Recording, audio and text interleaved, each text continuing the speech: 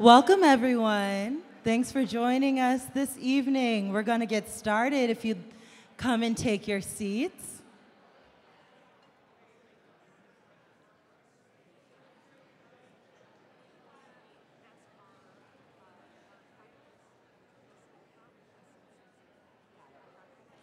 And for our finalists, we have some seats reserved for you up front. So if you'd like to come and take your seat up here. Wonderful. Well, good evening, everyone.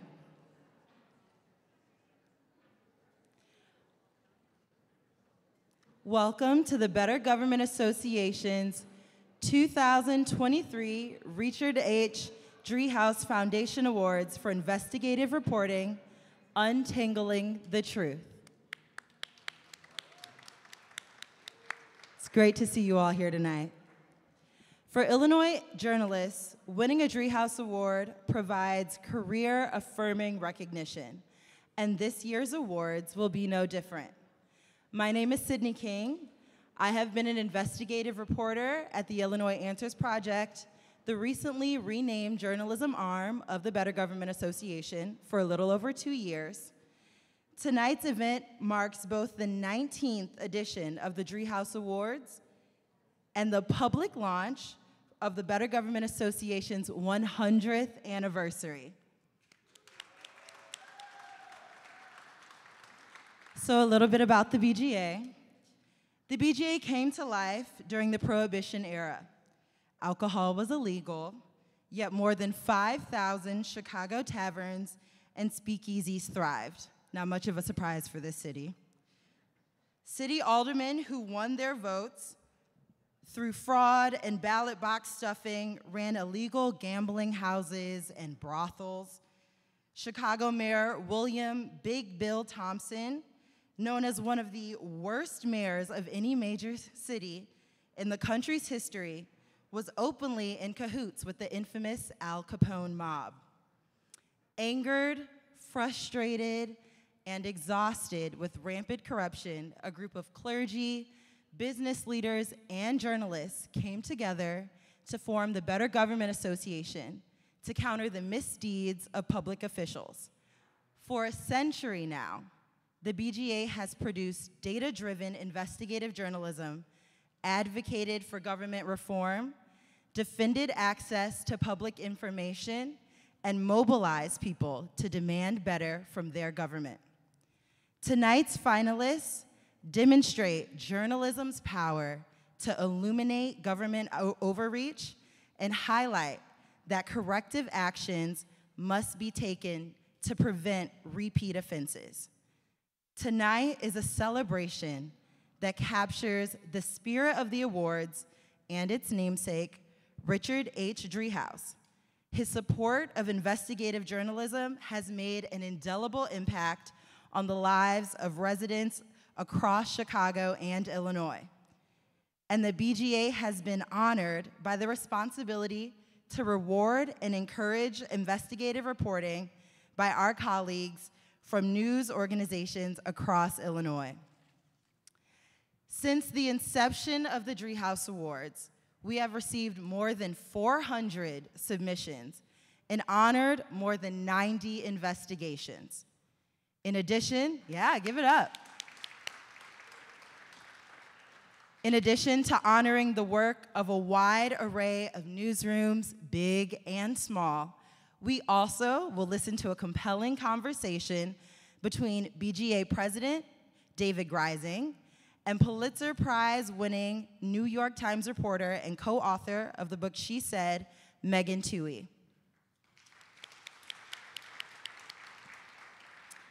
After their conversation, we will welcome Nick Burt of the Richard H. Driehaus Foundation to the podium to announce this year's Driehaus Award winners. So let's get on with the show. It is my distinct honor to introduce the BGA's president and CEO, David Greising. Would you give a vote? David joined the BGA in 2018 after a career that included stints at the Chicago Tribune and sometimes as well as regional bureaus of national and global news organizations. While leading the BGA's successful efforts to uncover public corruption, waste, and fraud from the city to the suburbs and in Springfield, David has also become a leading voice on good government issues through his regular columns in the Chicago Tribune and as a guest on local radio and television programs. Would you all help me welcome our president, David Greising?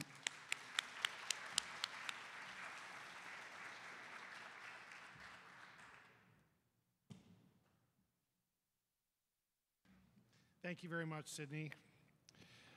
It's wonderful to have Sydney at the podium this evening. Uh, she and her Illinois Answers colleagues represent the next generation of investigative reporters. It's a curious, focused group committed to fact based reporting. They demand answers from government officials and are providing answers to some of society's biggest problems through their solutions journalism. Looking across the room, I see many similar minded journalists. How fortunate for Chicago and our field that so many of us are doing this important work, and we are honored that you came here tonight.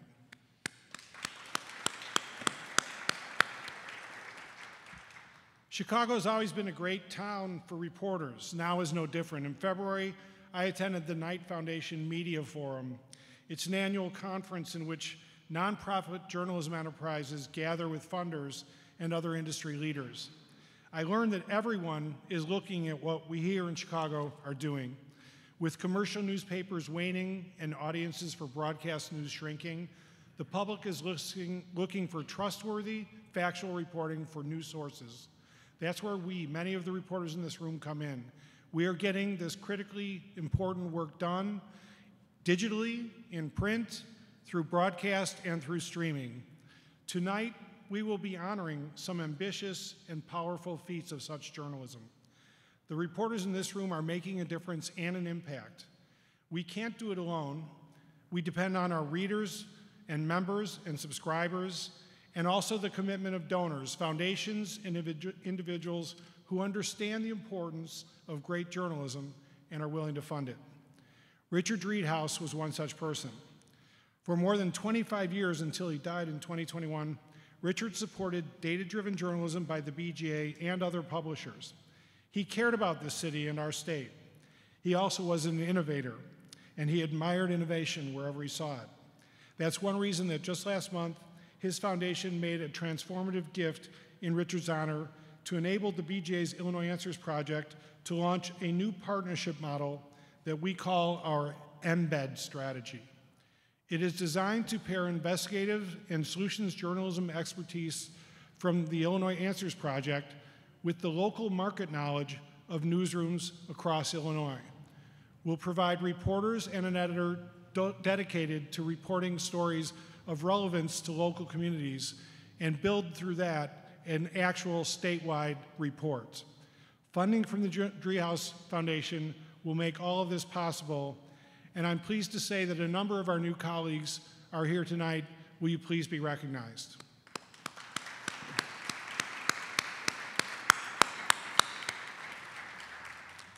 This afternoon, Ronnie Ramos, the editor in chief of Illinois Answers met with all these partners to begin to execute the strategy. You'll begin seeing the initial reports emerging from this new integrated partnership effort later this year. We are grateful to the Driehaus Foundation for investing in this revolutionary concept and for creating the forum that brings all of us out to celebrate and honor great journalism.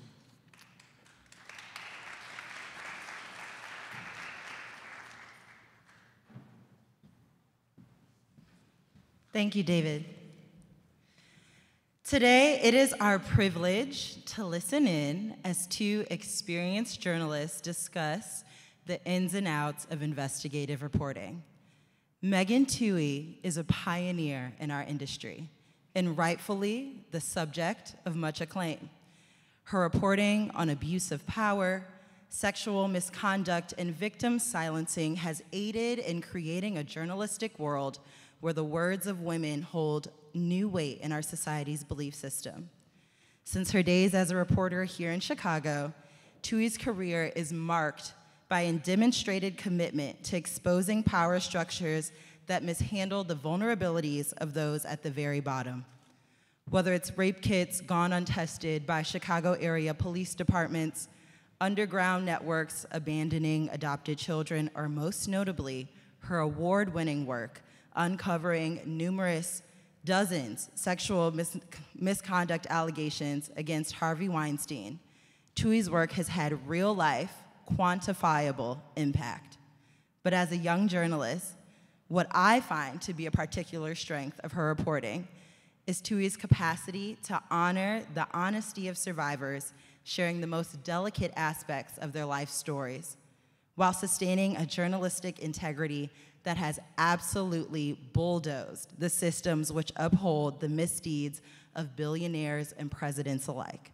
Would you please join me in welcoming, in conversation with our President David Greising, Pulitzer Prize winning reporter Megan Twohey.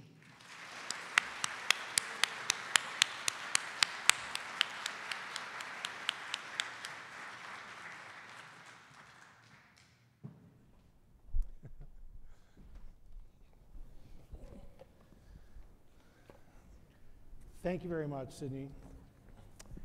A well-earned introduction. I should come home more often. Could I bottle that, those That- kind words and bring them back with me? Really That was great. touching. Really appreciate it. Um, Louis C.K., Charlie Rose, Matt Lauer, Mario Batali, James Levine. Facebook, Tesla, Amazon, CBS, Goldman Sachs, Disney, Fox. If that first list of names gave you a little bit of the creeps, and that second list of names made you feel like something unusual is happening in this country right now. It's due in part to the work of Megan Twohey and her reporting partner Jodi Kantor, and some other great journalists at the Times who supported that work. Yeah.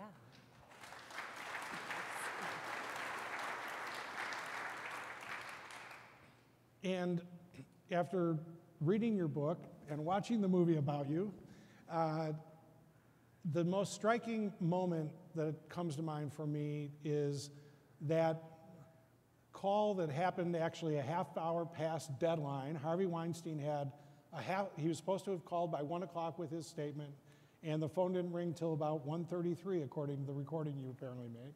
So tell us a little bit about that, Right, that last yeah. call before you published. This was really the sort of do or die moment as we were finally preparing to go to, pu- to publish um, the, our, I guess at that point, four or five month investigation of him. And, you know, the last part of uh, reporting and telling these stories, as you guys all know, involves going to the subject and spelling out everything that you're preparing to publish about them, to put in print, and giving them a chance to respond. And you know, you do that in the name of accuracy and in the name of fairness. And um, normally, I mean, if you're dealing with a powerful subject, whether it's kind of government, you know, political figures or powerful companies, that's always a little bit of the moment where you're debating how much time do we give them, and it, it, it inevitably inspires nervousness uh, and anxiousness uh, on the part of the journalists. But, and in this case, we had had a lot of hand wringing because not only was this a powerful individual, but it was somebody who had gone to great lengths to stop our story, um, and we really couldn't put anything past him you know, he, we'd come to find out, had hired these private investigators to trail us and our sources and try to dupe us. They'd been promised $300,000 if they could stop us. He had brought, you know, he had assembled a powerful team of, of lawyers, um, including some surprising figures like the feminist lawyer, the feminist lawyer Lisa Bloom, who, were, who was by his side, and Charles Harder, who, as you know, had successfully sued Gawker out of existence you know, th- uh, threatening us with lawsuits. And so we, we knew that there was going to be sort of shenanigans on his part. And so in these final moments, we, we ultimately, I can't remember if we gave him days. Uh, I think we ended up giving him two days, Two days. We gave yeah. him two days because we figured that, that hopefully that could have contained all the potential damage and harm and threats and other manipulations that he was sure to try. Uh, in that final stretch as he so desperately tried to stop us.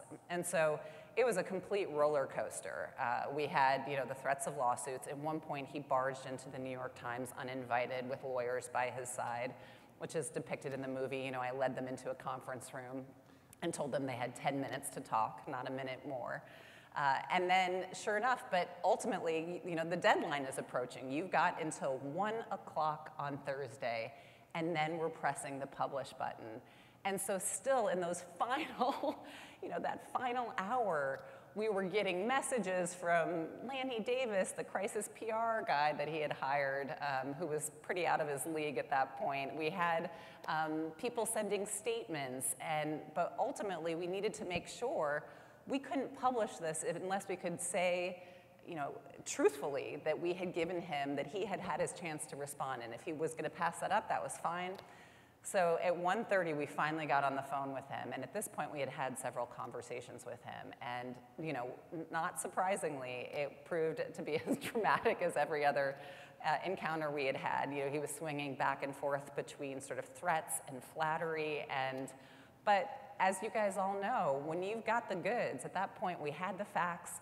We had, you know, this long trail of secret settlements that he had paid. We had documents, and we had two women on the record.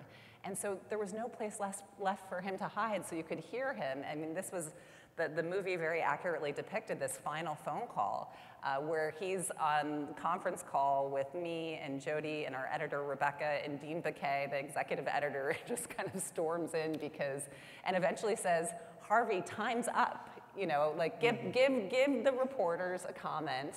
Uh, I, am leaving. Right, and D- Baquet, his handling of this story was interesting. He just plugged in here and there, but it was yeah. always really in, instrumental, making key decisions. And in this case, telling Harvey, hey, put up or shut up. It, really, yeah, it did seem to shut him up, didn't it? Exactly. Yeah, no, it was yeah. one of my favorite moments to just have, you know, and, and obviously there had been, in reporting the story, we had talked to people who had actually talked to other reporters. There were other journalists who had, had tried to do this story, and we kept hearing like, listen, Harvey Weinstein's going to barge into the New York Times. Um, he's going to go straight to, you know, the Sulzberger, he's the publisher. He's going to go to Dean, the executive editor, and he's going to kill this story. That's how powerful he is.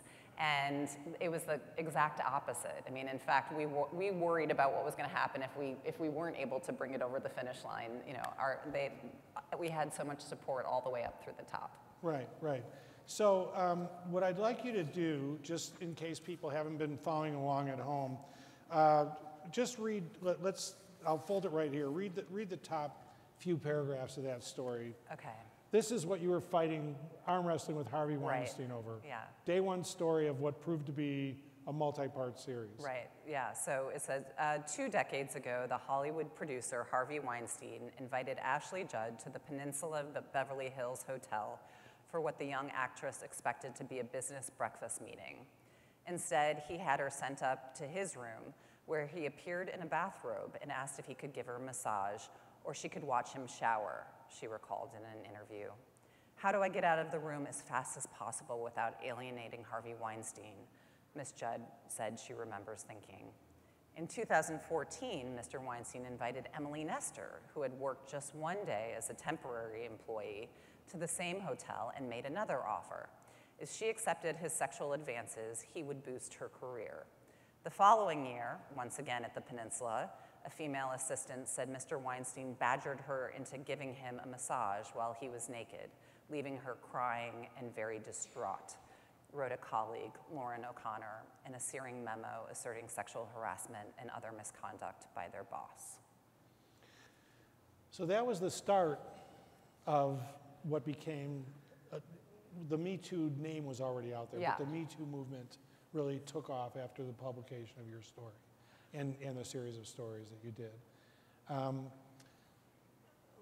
when you published, did you have a notion that it was going to be as big a deal as it became?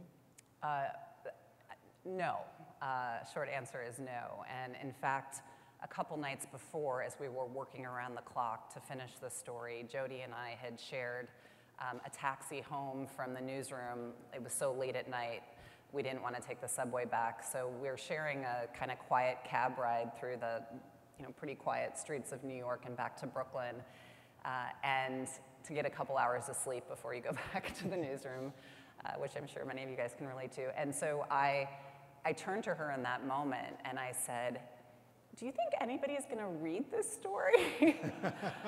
because the truth is, is when you get, when you start working on an investigation, I mean, there's a couple different phases of it. You know, phase one is, is there a story there? Which took us not that long. I mean, sort of three or four or five weeks of reporting, media reporting to realize, oh yeah, there's a story here. And it turned out to be much bigger than we could have ever imagined.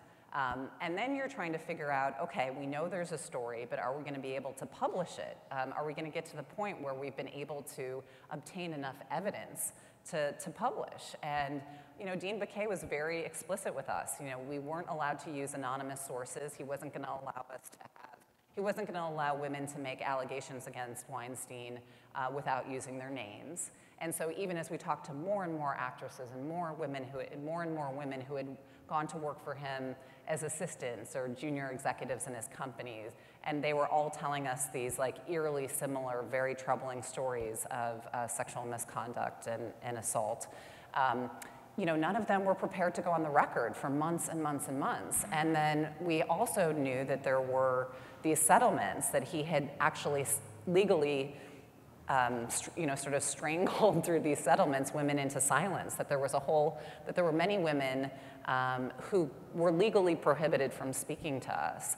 And so there's also another very true to life moment in the film where our editor, immediate editor Rebecca Corbett, sat us down months into the reporting and said, you know, you guys, uh, okay, what do you got? And we spelled out, you know, we've got this pattern of behavior. We know there's this trail of like payments that were made to silent peop- silence people. And she said, okay, is anybody on the record? And we said, no. And she said, do you have any documentation of those settlements? And we were like, no.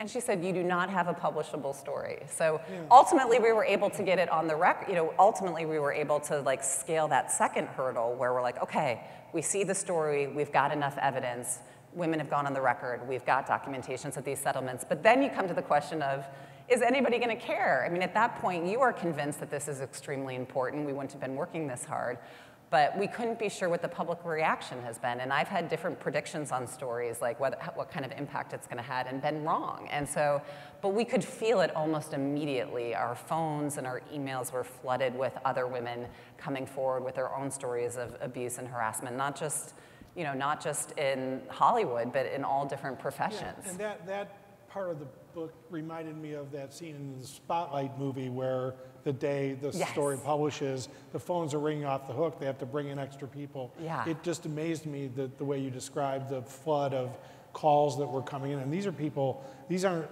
you know, calling with some, you know, the worst moment in their lives yeah. to talk about it. And you also had been up, it, other reporters had gotten somewhat close, like great reporters, right? Mm-hmm. David Carr, mm-hmm. Ken Auletta. Yeah. Um, you also knew there was some competition oh, on yeah, the story yeah, too. Yeah, that's right. Yes. Yeah. Tell us a little bit about yeah, that part so, of it. so that's right. So I mean, we would. There was a point where we had. You know, ultimately in October of 2017, after about four or five months of reporting, we went to publish you know, which was ultimately like a 3,000 word story. You know, this wasn't a long series. It was a 3,000 word story.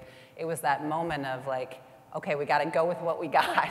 and at that point, we had like timelines of all, you know, so, so many allegations um, of like really serious uh, wrongdoing. We had, we were aware of even more settlements. Um, but at that point, we also knew that Ronan Farrow was on our trail. And we heard from, I don't know if this has happened to any of you guys, where you're like, you know, you're on a story and you're working sources, and then the source is like, you know who called me the other day? you know, who's now, and in this case it was, we knew the, we thought he had been at NBC, and then one of our sources said, I got a call from a fact checker at the New Yorker, and it was like, oh my goodness, okay, step on the gas, and, and you know, a story that would have probably, we would have allowed ourselves you know, it, many more weeks to, to complete, so we could have done it, it, you know, made it even bigger and been able to go with more, you know, we ultimately knew this much and we published this much. And so, but of course, I mean, what was incredible about this story is that there was, it was so big and so massive that even with you know, Ronan at the New Yorker and us continuing to report, you know, so much kept, it just, we, we got different pieces of the, the elephant and just the, the, the pieces of the puzzle just kept coming together. Yeah, those two stories are really, uh, they, they, what, they pair well together. Yeah. The one doesn't make the other one seem old at all. Yeah. Let- Let's take a step back in time, okay? From this Sure. high point, this high moment, and this important moment in journalism uh, to sort of your career track. Like, how did you get to this moment? And um, you grew up in, in Evanston, went to ETHS. Yeah, you can see me, I'm wearing an ETH, in the movie, there's a point where I like, I'm wearing an ETHS, well, Carey, the Uh, Carey Mulligan is wearing an, an Now- Evanston t-shirt. Yeah, as a, somebody who sent their kids to ETHS, that was like the high point of the movie.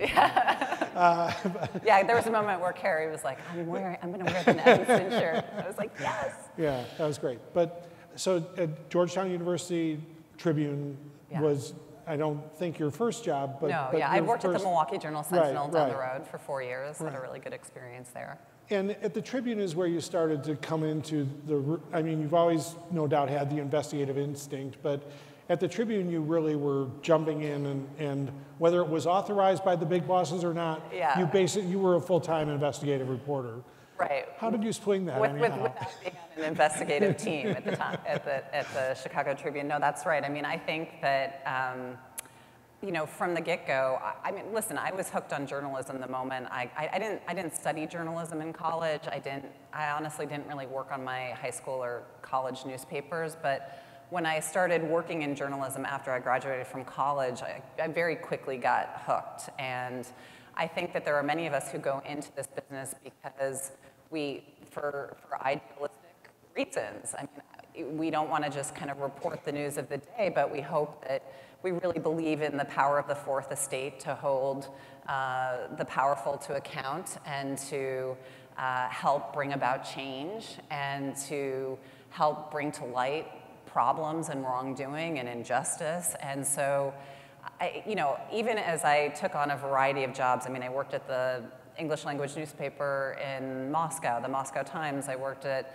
uh, I, I, you know, I worked at the Milwaukee Journal Sentinel as starting off as a general assignment reporter in the Racine County Bureau. When I first came here, I was working in the Schaumburg, Bureau, you know, doing that kind of traditional, trying to work, you know, work your way out of the suburbs into the main newsroom. And so I was uh, obviously, and it was great. I mean, it, to, to have to cover so many different things, uh, I think was like really helped my reporting and my writing skills to have to report, like be thrown at, you know, a bunch of different stories and have to rise to the occasion and deliver a story at the end of the day. But ultimately, I also was always interested in gravitating towards digging deeper, not just into what the day's news was, but okay, you know, there's a woman who's been shot uh, by her ex-boyfriend in a suburban, you know, in one of the suburbs of Chicago. Uh, there was a, a, gruesome murder of a woman by her ex boyfriend um,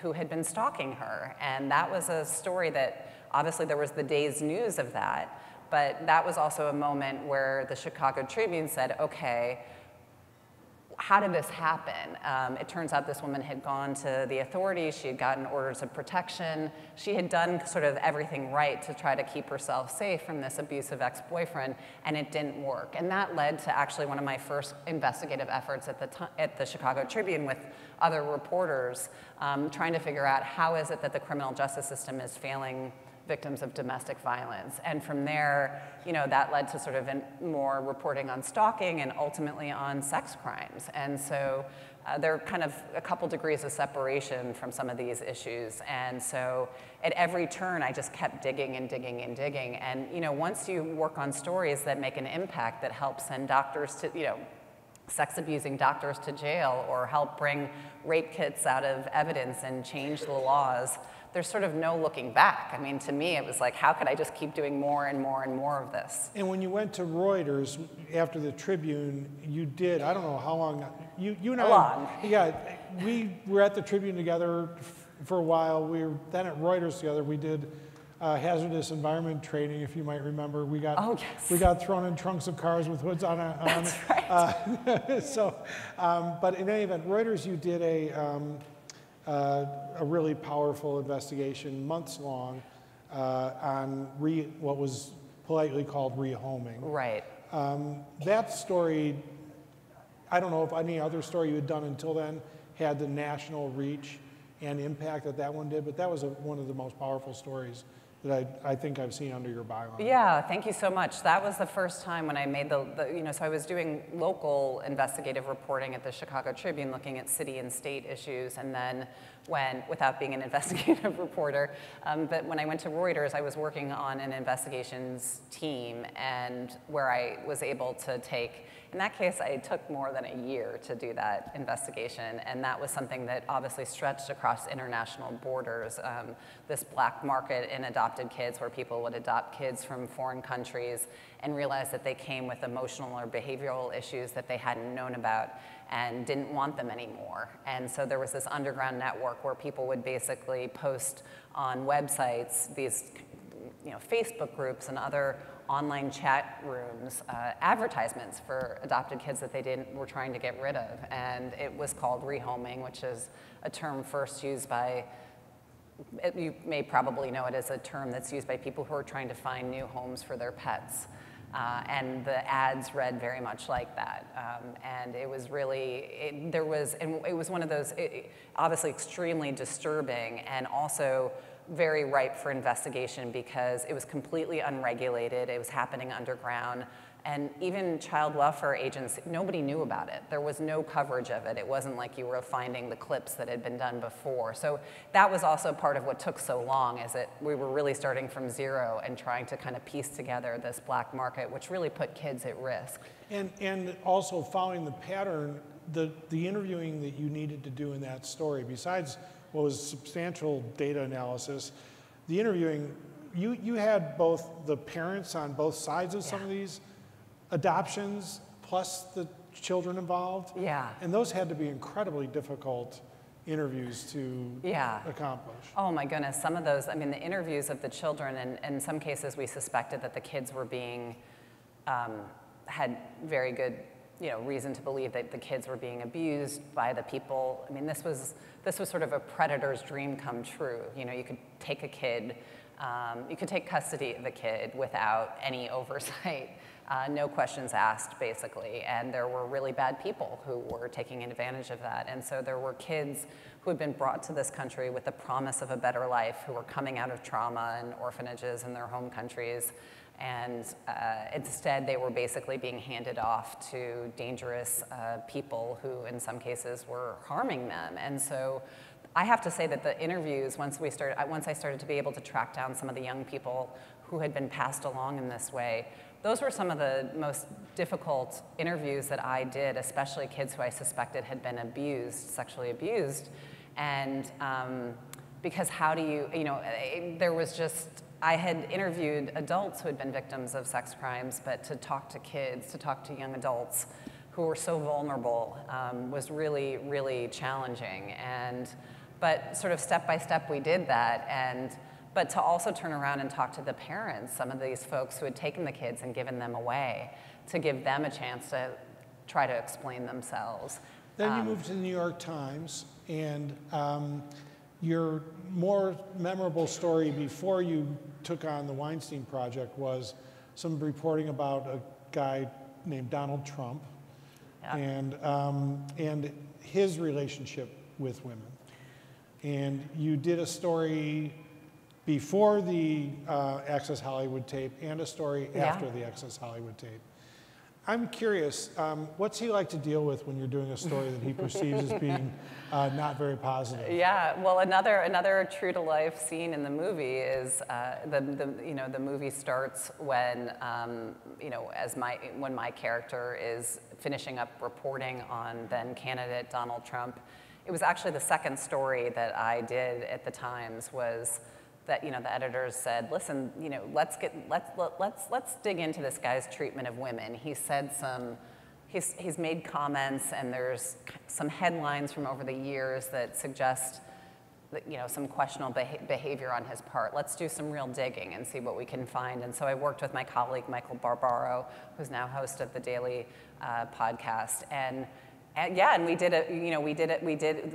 We we reported from some of the first, um, you know, allegations of sexual misconduct against him, and then came back after the Access Hollywood tape with even more serious allegations against him. And so the, the, there's a scene in the movie where I'm, I, I, of course, once again, to go back to fairness, right? We're preparing to publish this story with these serious allegations against him, and I have to call his campaign and say, you know, can, you know, can Mr. We need comment from Mr. Trump. We're going to be publishing these allegations, and I expected to get. Uh, call, you know, I expected his PR person, Hope Hicks, to come back with like some, you know, he denies these allegations, period, and that's the end of it. But instead, my phone rings, and um, the person is saying, I've got candidate, you know, I've got Mr. Trump on the phone for you. And so he gets on the phone, and so I'm talking to him directly, and I'm sharing these allegations with him, and he's at first just kind of politely denying them, but then getting more and more forceful, and eventually starting, you know, saying these women are liars. Um, the, you know, the, the, the, New York Times is out to get me. I'm going to sue the New York Times, and you, and then it turns directly. The attacks turned towards me um, individually, and you know, I was just working to stay calm and going on to the next taking, you know, taking notes as frantically as possible because I'm like, this is the comment.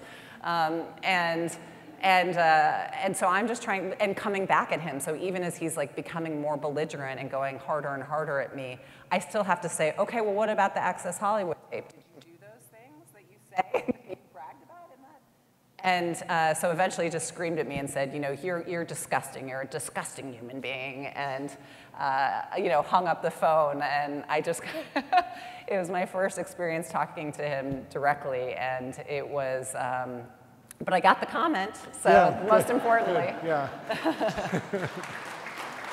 so, so, and in some ways it was good preparation for Weinstein, you know, the same yeah. kind of like, let, let, me do a bunch of somersaults and um, just sort of throw a million things against the wall uh, and see if I can kind of slither out of right. this that way and to just maintain your composure right. in those interviews. So let's go back to the Weinstein investigation because we're going to run out of time. Yeah. Um, and um, tell us, it, has got to be difficult to work in partnership with somebody in a story as complicated as that. Um, uh, or I, I, I, guess the upside is you've got two of you. Yeah. And there's a division of labor, and if everything works out, things you can get more done, which seemed to have been the case. Tell, tell us about how you worked that out with Jodi and the division of labor yeah. and, and, and how, how effective it was. Yeah, well, I would say that actually it wasn't until I came to the Times that I actually started working in partnership very regularly. Um, mm. I think that there's an, and I think that there's, an, and I, I've done a lot of investigations on my own and I feel like I've done them successfully, but I think that there's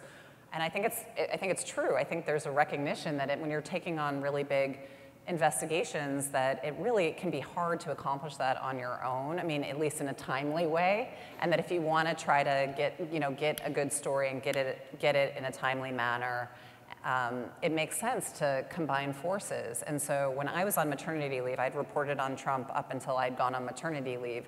And so uh, while, I was, uh, while I was gone, Jodi had started the Weinstein investigation, and she was actually having a hard time getting women to talk, at least to talk on the record. And she was and we didn't know each other, but she knew that I had done reporting. I'd worked with women, I'd reported on women who had made these allegations against Trump, and that I had also done reporting, a lot of reporting here in Chicago on women who had been victims of sex crimes. And so she called me up on maternity leave and said, you know, what should I do here? Like when I knock on these doors or when I pick up the phone and I've got what could very well be 30 seconds uh, to make a case to talk to me, what should I say?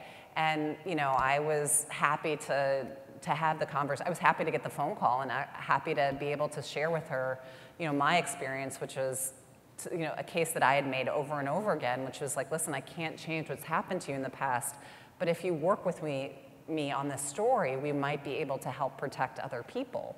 And, you know, we might be able to make a difference and put your pain to some, you know, productive use. And so that was really the kind of beginning. The, yeah, in, in, in some ways, that was the beginning of our partnership, that exchange we had but when I came back from maternity leave, she wanted me to join her on the story, but there were some other folks who wanted me to go return to covering Trump, and so I had this kind of push and pull. And I wasn't sure. I have to. I mean, I, I will. I will confess that doing some of that Trump coverage and during the um, during the election in 2016 left me a little bruised and battered. I mean, that was very, a far cry from the Harvey Weinstein reporting. I mean, the women that I reported on, you know, he publicly attacked, he threatened to sue us. Um, it was, I mean, reporting into a political realm is totally different. And obviously, he became a political figure like none, none other that had, you know, been elected to the White House. And so it just felt like the, the, the kind of there was a shift in what journalism could accomplish. You could start to feel that not only that the country was so polarized and just becoming more and more polarized, but that, that, there wasn't an agreement on facts anymore. These facts that we like, you know, cherished and felt like, okay, well, if we can go out and find the facts and we can publish them, then there's going to be a response, and, and it's going to make a difference. And, and this felt like it, that was shifting, and so I was kind of losing faith, honestly, in the power of journalism, and I wasn't sure what I wanted to do. And what, one thing that's interesting apropos of that is that in the project with Jodi, your role ended up, you dug up a lot of documents and mm-hmm. emails, mm-hmm. and you, I think, got the tip that there were eight settlements, which mm-hmm. you were able to nail down. And you really, even though you have this expertise in listening comment from people on sensitive topics, you also were doing some really dig, digging into the, the proofs that Dean Baquet was demanding of.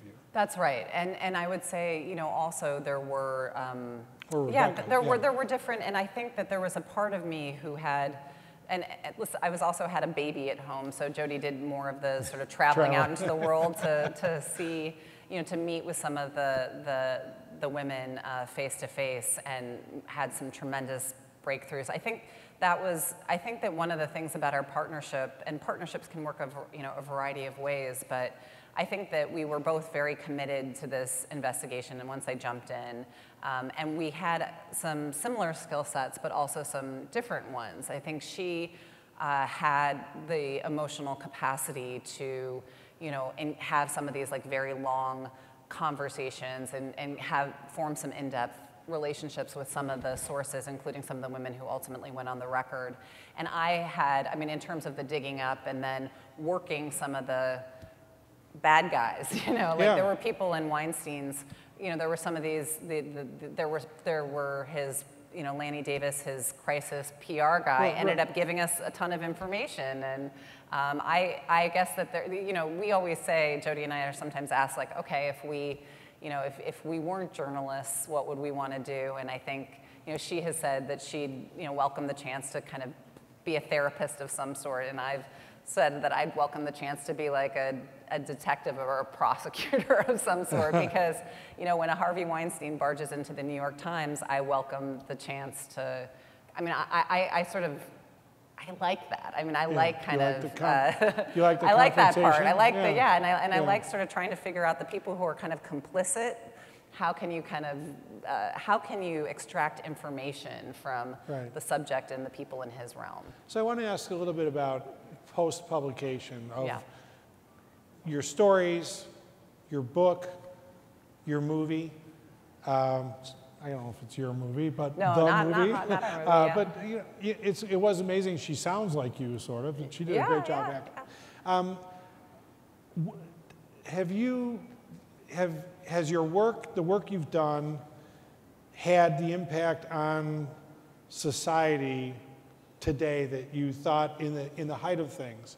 When the story was blowing up in the way it was, and there were all these additions, the, the Louis C.K. and all the other things that were happening there, um, do you feel that the Me Too movement has stuck and changed society, or have we reverted back to a norm that's less than it appeared it might be at that I mean, point? this, I, I, think that the, the Me Too movement has, not surprisingly, uh, turned out to be very, you know, a, a sort of a complicated, evolving uh, movement, uh, and that there, there are no sort of clear black and white uh, answers to where things stand today. Uh, I think that we really caution people having obviously covered the Weinstein story through his criminal conviction, and you know, there have been other high-profile cases of you know, men who have been convicted or men who have gotten off, and there have been, I think people can mistakenly,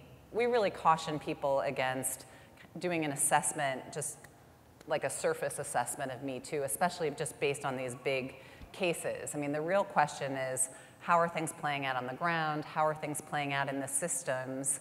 You know, these, the criminal justice system, in HR departments, and you know, there have been many, many states that have passed new laws to increase protections in the workplace, and there have been other meaningful systemic changes, but it's also clear that this is uh, that this is that this is evolving and that there's it, you know it's a mistake to draw firm conclusions and I think it just continues to be a good story and I think that reporting into the complications and the nuance is is really the job of journalists. You know, you can't stop at the victorious moment when right. the press publish on the Weinstein story. And and to follow, to kind of take to the more recent chapter as well. And speaking of a circumstance that's evolving, uh, your coverage and the Times' coverage of transgender issues has drawn attention. Mm-hmm. And uh, the story that you did about puberty blockers uh, was one, uh, not the only one, but, but signif- got significant outside attention, mm-hmm. fair amount of criticism from people in the trans mm-hmm. world mm-hmm. um, about the times, about decisions you made. Tell us why that story needed to be done and um, what, what, you take, uh, what did you take away from the mm-hmm. criticism mm-hmm. yeah. that is uh, elicited? Yeah, it, it was interesting when I was I mean, I, and I've done other investigations since Weinstein, and uh, I, but when I, last year when I started uh, reporting into puberty blockers, this first line of medical treatment for adolescents uh, seeking a medical transition, um, I, I had people tell me, I mean, this was, we were waiting for the She Said movie to come out. You know, Jodi and I had, you know, received a lot of positive public attention over the, you know, the last five years for, uh, for that work. And I, I had people say, you know, why, why are you going to do this? Like, why are you going to go into this, this, you know, completely flammable um, transgender world um, when you're just guaranteed to come under attack no matter what you do, no matter what you write.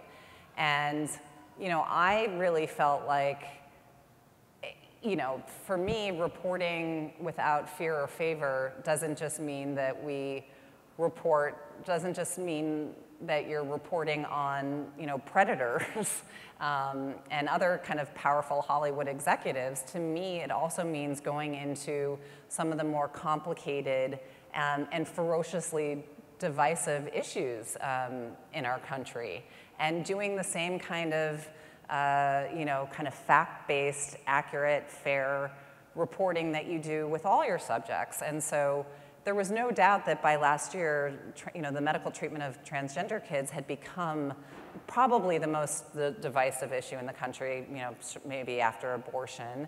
And, you know, you had Republicans who were calling it child abuse and seeking to ban it completely. Um, you had activists saying, and, and, many medical folks saying that this was, you know, life-saving treatment, um, and that kids would die if they didn't get it.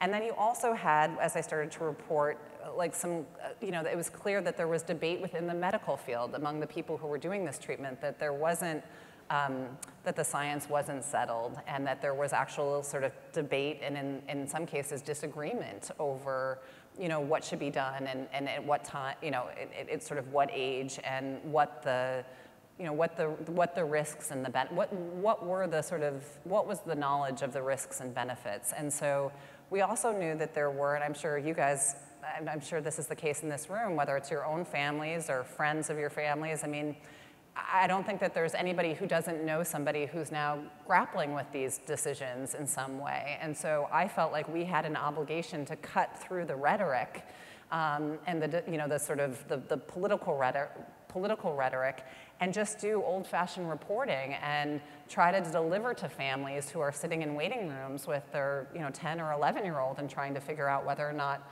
to use these drugs what are the facts as best as, as best as we know at this point? And so, um, you know, I didn't, I didn't think twice about doing the, the, the reporting, and, um, but I, I, knew that it would come, I mean, I knew that it was gonna likely get attack, uh, come under attack, and it has. It's part of a body of work at the Times that has come under attack. Um, you know, I think that the work that we've done has, uh, you know, I, I'm, you know, just as proud of that work as I am of, of um, all the other reporting I've done. And so I just think that especially now as the, the, the country continues to be so divisive and news organizations, uh, I, I, mean, I think we can't, I, I, don't think we can shy away from these, these subjects. I think so, it's our duty to report into them. So people in the trans movement have said that um, trans, not movement, I mean, it's a state of who people are, but uh, activists have said, well, this story is being used uh, to kind of to cast aspersions on trans people. It's being used as an excuse to ban these procedures, et cetera. Um, does, how do you feel about that critique? Yeah, I mean, I, I, have had conversations with, I mean, there was, there have been some, there was a, sort of a letter that was circulated against my story um, by one of the medical groups, and I called up the person who wrote it and I said, I want to talk to you about this because I feel like this letter is full of inaccuracies and mischaracterizations. I had that letter, I had met that letter up on my computer and I had my story up and I wanted to go line by line to compare. And this person refused to engage in the content um, and basically said straight up, like, listen, we just don't want any, we don't, I don't want any, we don't want any coverage of this, period. And I said, and because of the fear that it could be used to weaponize. And, and um, you know, I was talking to a colleague of mine, I was talking to an old colleague of mine at Reuters, because Reuters also did a series on, on trans issues, um, medical, the medical treatment, and uh, last year. And so I had a friend of mine who was in town, and we were sort of swapping stories, and she said that they would also get messages saying, you know, we're worried that these stories are going to be used to dissuade people from care, or, you know, and that the response was always like, we're not reporting to persuade or dissuade. You know, we're just, and I feel like that goes, I mean, we report, um, you know, we just have to report the, I mean, I think if you, if you stop reporting the facts because people are telling you they're going to be used for, you know, people are going to try to use this to weaponize you, then you're, you're, you're, that's just a slippery slope. And um, so last, last question, Megan. Um, after all of this body of work of super sensitive, yeah. uh, politically charged reporting that you've done, how are you different as a journalist today than you were back when you were in the Tribune newsroom uh, making those first uh, calls? I mean, I don't think that I'm different at all, actually. I mean, I think that uh, you know, at the end of the day, I felt this way. I mean, I used to, I lived um, uh, in Edgewater and I used to ride my bike to work to the Chicago Tribune and back. And I remember that spectacular bike ride along the lakefront. And every day I'd just be riding my bike and being like, I can't believe I get to do this work. I can't believe I get to do this work. This is so awesome. And when you, when you, when, you know, you guys know this, when you start to have stories that make impact, um, it's like nothing else. And I think, so I still feel that way, and I, I am still, I mean, I, I, I look back a, a, bit on the stories that have come before, but I'm like everybody else, you're only as good as your next story, so it's like, okay, what are we doing tomorrow, and what's, and, and I think that one of the things I wanted to tell you is I was actually, uh, colleagues of mine at the Times we were recently having a conversation. We're all kind of working on various stories where we're trying to figure out how to get people to talk and what the various methods are. And Jodi was saying, you know, I've learned about some of the methods of being like really tough uh, from Megan, and I've obviously learned techniques from her. And so we were we were debating, you know, at what point do you become really tough in, in conversations? And I remember I pointed out that when I had my first newspaper job at the Racine County Bureau at the Milwaukee Journal Sentinel, I think in my first annual review, I got a job review. They said, I, my, my editor at the time said I was too aggressive on the phone, um, which I promptly ignored.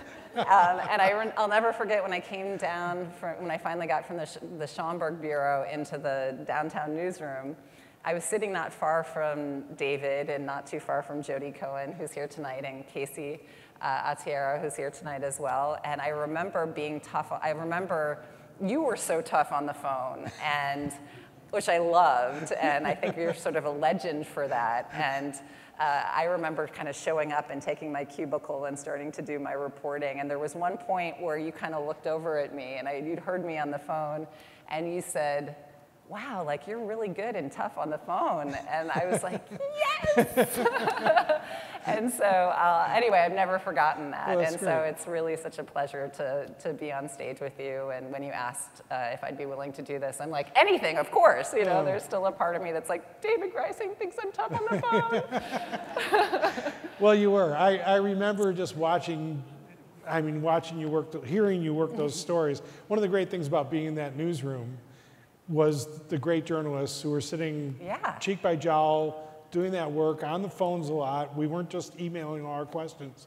And there's nothing like going to toe to toe Yeah. with the source and getting what you need Yeah, from and, them. and you know, you know, there's, there's, and figuring out when you do that and when you don't. There's lots of times where I just Sure. Am very soft and very, you know, bright-eyed and tell me more. This is confusing. but um, yeah, no, I think there's no substitute for it. And I know that especially as newsrooms become, you know, people are, are work remotely. Like I just learned so much uh, sitting um, at the Chicago Tribune, uh, you know, shoulder to shoulder with you guys. So it's really nice to be with some of you tonight again. Well, thank you, Megan. Thank you for doing this. Yeah. Thanks very much.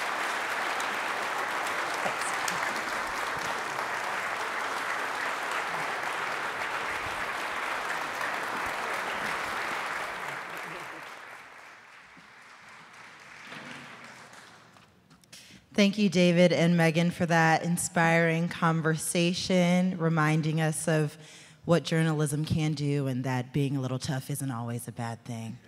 So, now on to the main event. Um, as David mentioned earlier, the Richard H. Driehaus Foundation has been funding the BGA and other nonprofit Chicago newsrooms for more than two decades.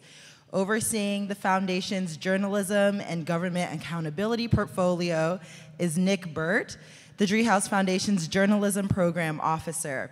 Before joining the foundation seven years ago, Nick spent time at the Lloyd Fry Foundation and taught for Americo.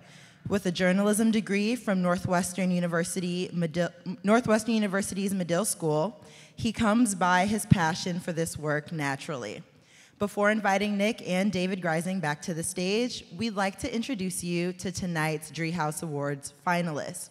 Please watch as these videos describe the investigations of the eight finalists, four in the large newsroom category, and four more from newsrooms with 10 or few journalists. Here are our finalists.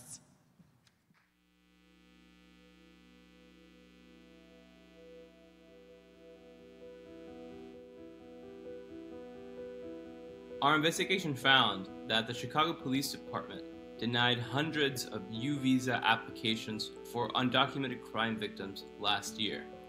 Many of those denials were at odds with federal certification standards, and some appeared to violate state law.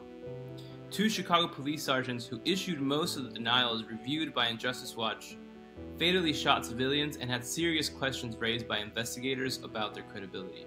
This story came about after years of reporting on immigrant communities here in Chicago. The specific focus on U visas came after a source tipped me off to the massive amounts of denials that she'd been seeing over the last few years. This story is important because it shows how undocumented crime victims are often underserved by the police. And it also shows why some immigrant communities are still very wary to come forward. And it also shows how the police can still cause harm even if they're sitting behind a desk.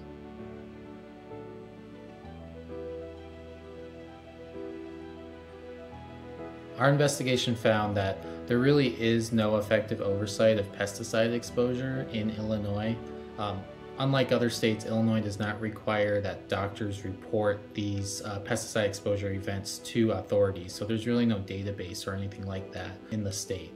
Um, in particular, our story focused on this incident in 2019 uh, where dozens of farm workers were exposed, were sprayed by pesticides twice in a matter of two weeks. And a sad component of this is that their children who were as young as infants were also exposed to pesticides. This is important because it showed that um, unlike in other states, Illinois does not have a good way to respond to these events. We got involved because there had been some reporting at the time of the incident. There was a lawsuit that came out, there was reporting on that. Um, but we knew that there had to be more, that this had to be indicative of a larger issue.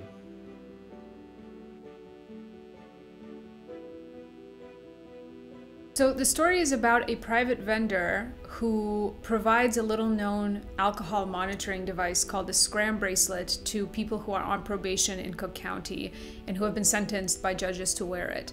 And what I discovered was that this private vendor was operating without a contract for nearly two years. Uh, probationers themselves have to pay 12 to $24 a day to wear this device and without a contract, suddenly they were operating completely without any requirements to report anything to the government. The county was in, no longer in a position to know what was happening with this program that they had outsourced. I started reporting on this story first because I became aware of one judge who was responsible for 40% of the scram assignments in Cook County.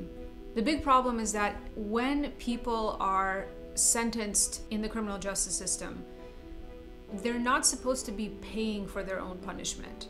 This represents one version of the way that private vendors make a profit off of criminal punishment.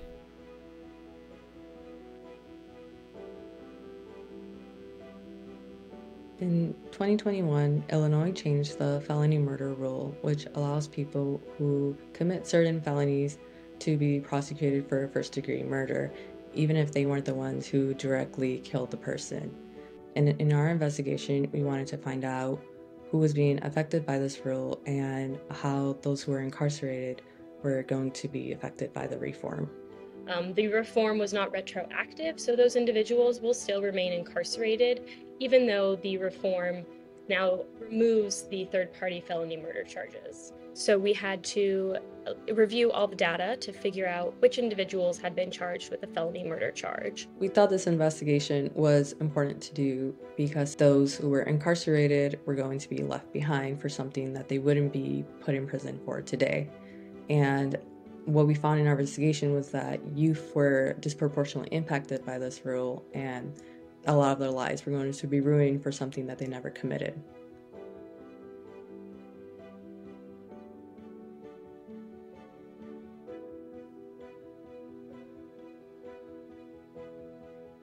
Block Club Stories revealed how COVID 19 pop up testing sites provided people in the city and throughout the country with flawed and outright false test results during the height of the Omicron wave when many were desperate for answers and looking to keep each other safe.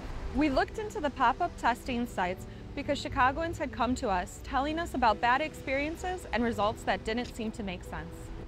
We found that these companies received more than $500 million from the federal government for these test results, while their owners bragged online about buying sports cars, mansions, and even items like gold encased iPhones with, as they put it, COVID money. Our reporting led to people across the nation being able to make more informed choices during a time of literal life and death. It's also led to federal and state investigations.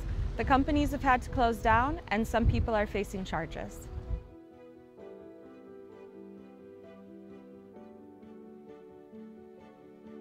The Price Kids Pay is an investigation by the Chicago Tribune and ProPublica that examined how school officials and police have been working together to issue tickets that came with very costly fines to students for minor misbehavior at school. It's a story we came to uh, from previous reporting on seclusion and restraint in Illinois schools where we noticed that police were becoming involved in disciplinary matters and in behavioral interventions. We quickly discovered that police were actually issuing tickets, which is something we hadn't expected, um, for everyday behavior, things like having a vape pen on campus or fights at school. We examined a school for children with disabilities in Jacksonville, Illinois, where staff called the police about student behavior every other school day on average. Students across the state were missing school ending up in municipal courts with fines that could cost hundreds of dollars and land families in debt.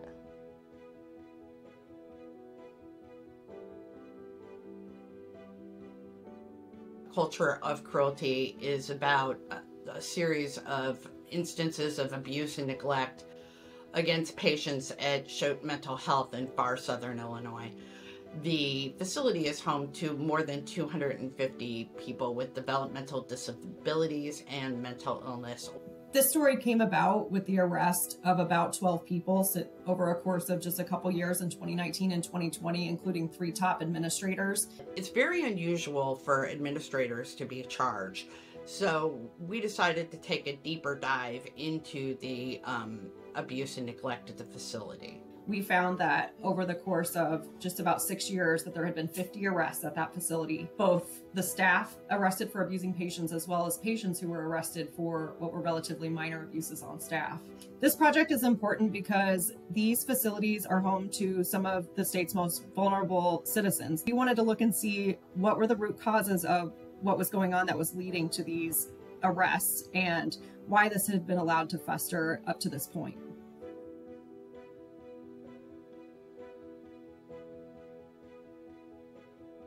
The investigation, DCFS survivors, started actually in 2019, so we've been following the lives of 14 DCFS survivors for the last four years. What we did is we obtained and fought for a database from DCFS, the Department of Children and Family Services, and we got 20 years of data involving every foster child, every foster parent that had ever been in care.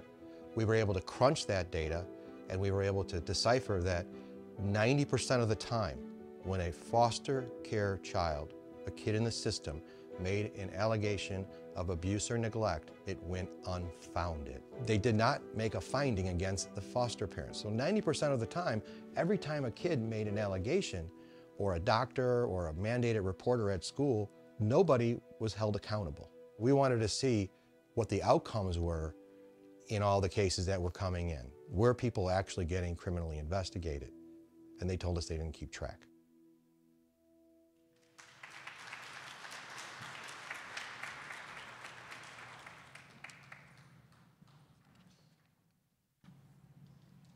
Hey, everybody. Good to see you all here tonight.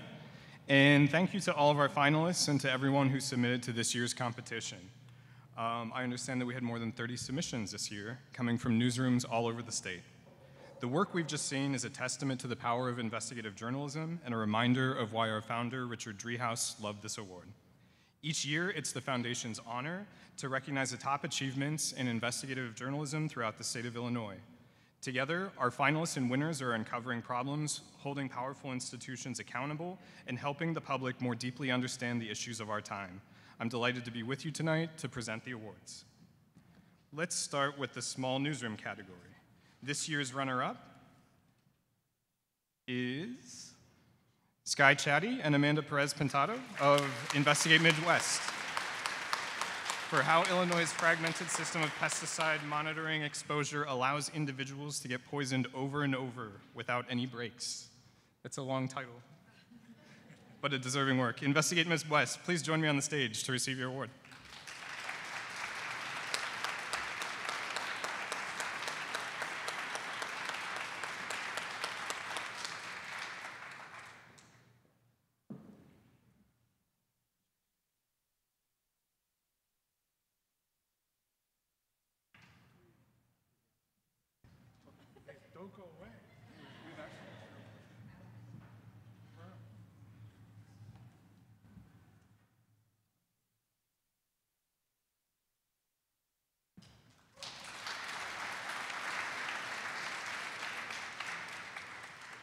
Okay, and this, this year's first place award goes to Maya Dukmasova of Injustice Watch for her investigation of scram devices.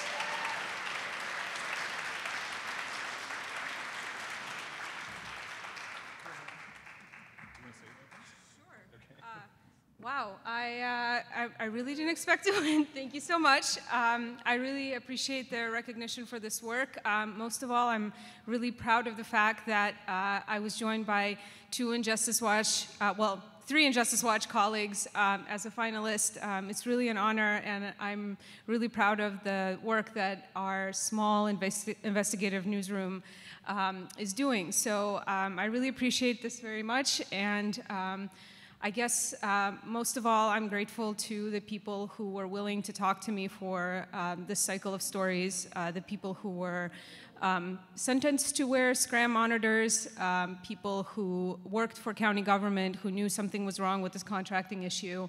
Um, I appreciate that trust um, and faith they had in, in, in Justice Watch and in my, my reporting. And yeah, thank you so much. I, I really appreciate the recognition.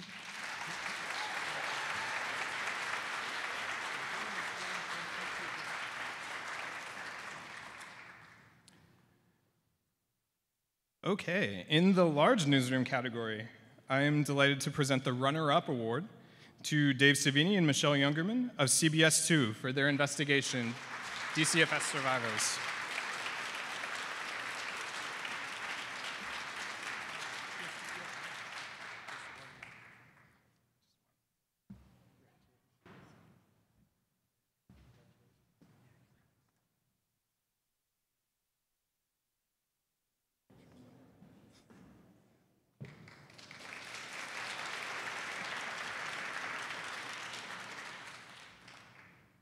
This year's first place in the large newsroom category goes to Jodi S. Cohen and Jennifer Smith Richards of the Chicago Tribune and ProPublica.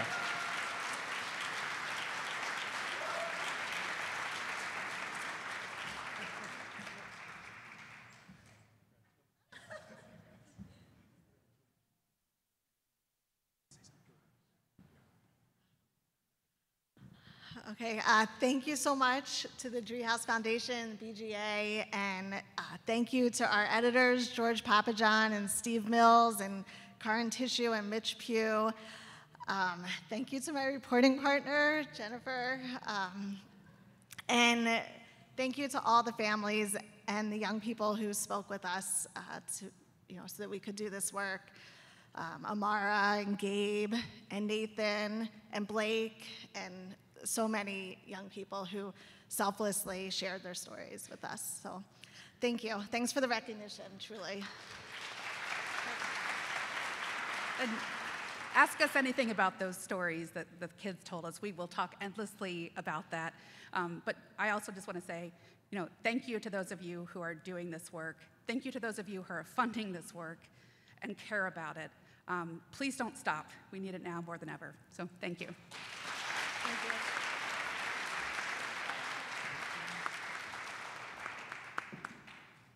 All right, for everybody, please join me one more time in congratulating this year's award winners.